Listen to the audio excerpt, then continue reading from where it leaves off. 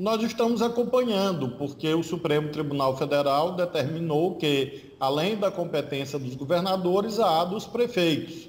E nós estamos respeitando, claro, as competências municipais. Temos apoiado, inclusive, decisões de prefeitos, até de lockdown, eventualmente, com apoio da força policial. Nós temos uma ampliação da testagem no Maranhão. Nós somos um dos cinco estados brasileiros que mais realiza testes isso faz com que não haja mascaramentos que estão ocorrendo em outros lugares.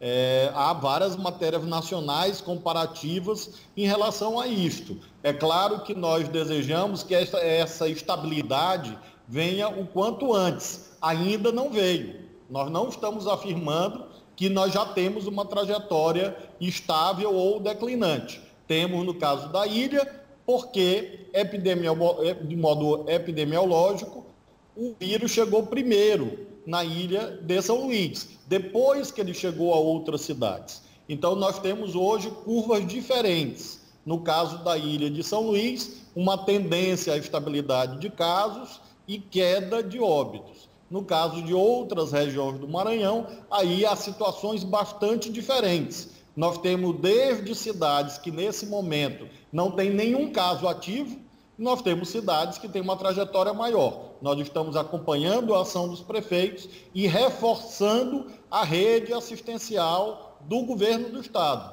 abrindo inclusive ambulatórios para apoiar a atenção básica dos municípios e reforçando a presença dos hospitais. Nesta semana mesmo estamos iniciando o atendimento na cidade de Lago da Pedra e também iniciaremos na cidade de Pedreiras, de modo que nós estamos também tomando essas providências em todas as regiões do Maranhão.